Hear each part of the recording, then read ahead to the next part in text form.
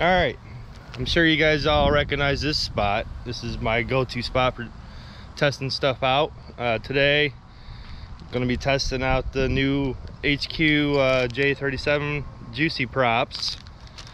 Um, yeah, they're a 4.9 uh, length on there, so they're a little bit shorter than what I'm used to flying. So, you know what, let's try it out. I only got three sets of them. I didn't want to get a bunch of them to make they didn't work well for me so that way I only had three sets. So all right let's get set up and we'll get some uh, ripping going on here